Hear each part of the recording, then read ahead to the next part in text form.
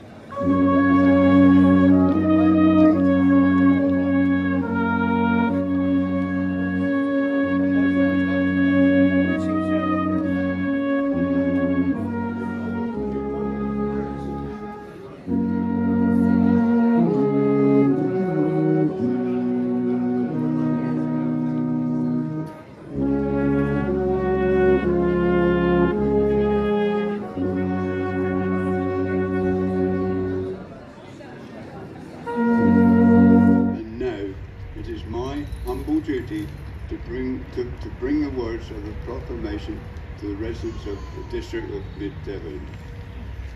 Whereas it has pleased Almighty God to call to His mercy our late Sovereign Lady, Queen Elizabeth II, of blessed and glorious memory, by whose decease the crown of the United Kingdom of Great Britain and Northern Ireland is solely and rightfully come to the Prince Charles Philip Arthur George. We therefore, the Lord spiritual and temporal of this realm and members of the House of Commons, together with other members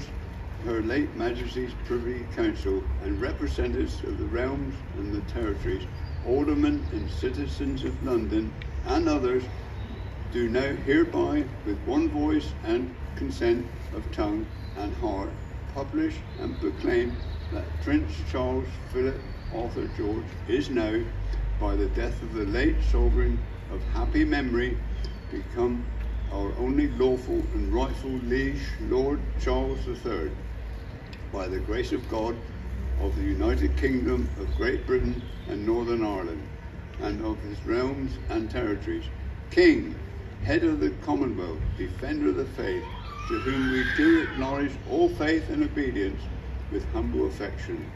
beseeching God, by whom kings and queens do reign to bless his majesty with long and happy years to reign over us. Given at St. James's Palace this day, this 10th day of September in the year of our Lord 2022.